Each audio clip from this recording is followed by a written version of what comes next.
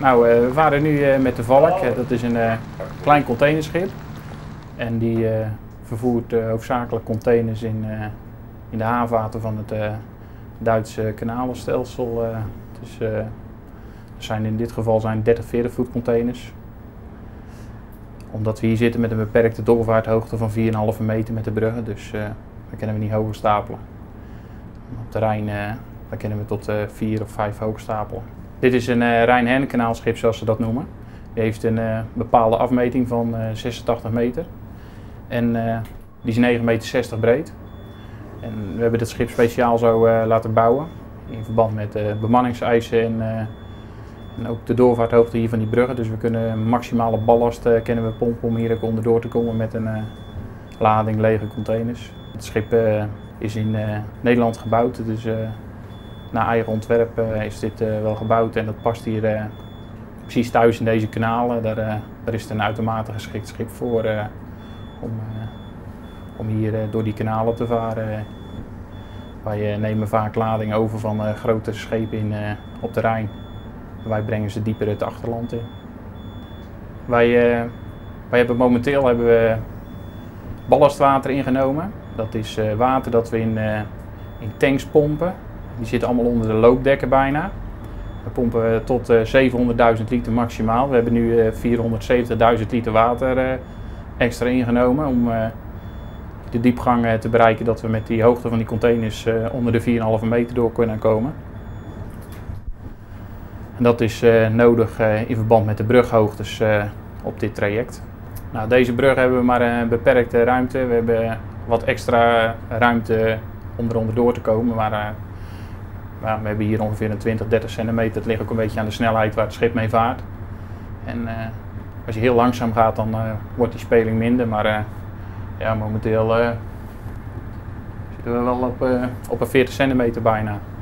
Als je hier helemaal stopt, met, je gaat heel langzaam varen, dan komt het schip iets verder omhoog.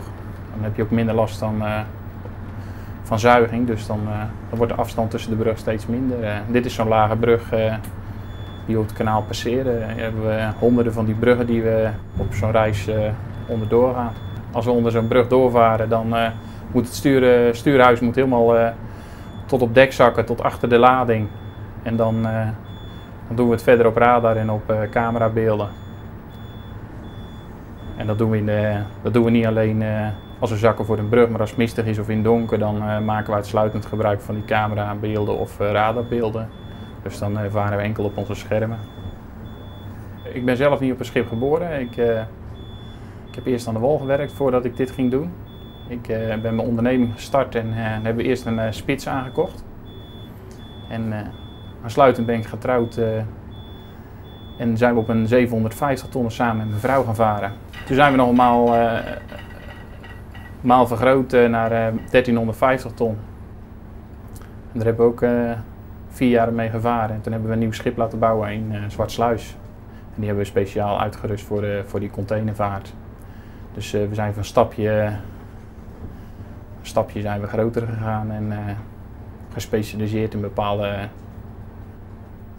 delen van, uh, van het transport uh, wat over het binnenwater uh, plaatsvindt. dus wij zitten uitsluitend in de, in de containervaart. we hebben geen bulklading of zo. dus met dit schip er zijn alleen nog maar containers in geweest.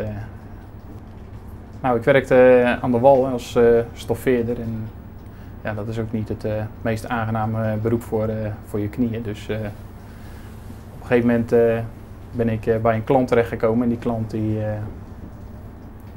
die had een uh, schip en uh, die geeft aan van uh, zou ik het niet leuk vinden. En van het een komt het ander.